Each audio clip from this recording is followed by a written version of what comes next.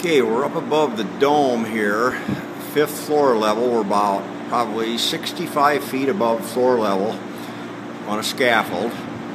And we've got a painter here today. His name is Steve, as is my name. And he is doing a paint mock-up, which is a demonstration of his abilities. Steve, describe to us what you're doing here today, would you please? Oh, today I'm putting on sizing what that is, it's kind of like a glue, and, uh, and I'm getting it ready tomorrow morning. I'm going to put on some aluminum leaf. And that's it for today.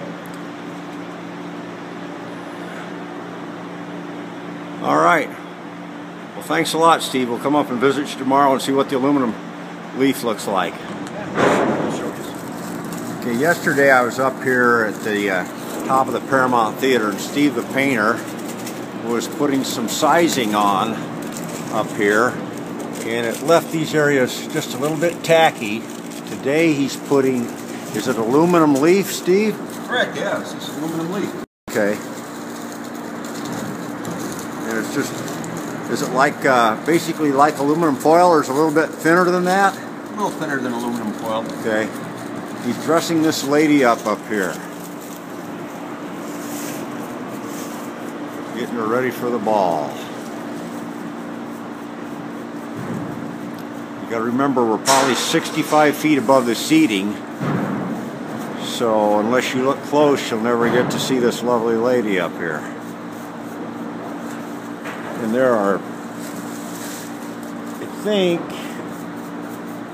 six of them on the east and east and west, eight of them on the north, and ten of them on the south. So there's quite a few of these to do. Also, there's aluminum leaf on this arch over here. Looks like that uh, trim there is going to have aluminum leaf on it as well. So there's a lot of that to do.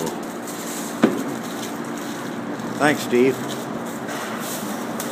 Okay, Steve continues on today the aluminum leaf that he put on yesterday, you're putting on what? A uh, yellow varnish?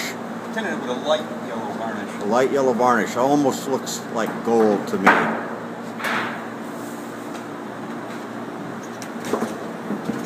So the pretty lady yesterday that had silver hair today has gold hair.